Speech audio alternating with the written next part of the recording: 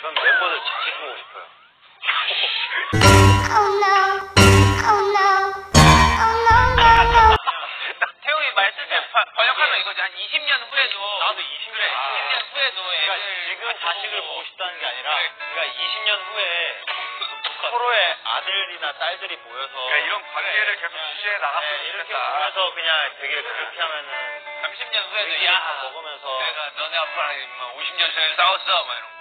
그렇게 한번 한번 해보고 싶네요. 20년 후에는. 재밌네요.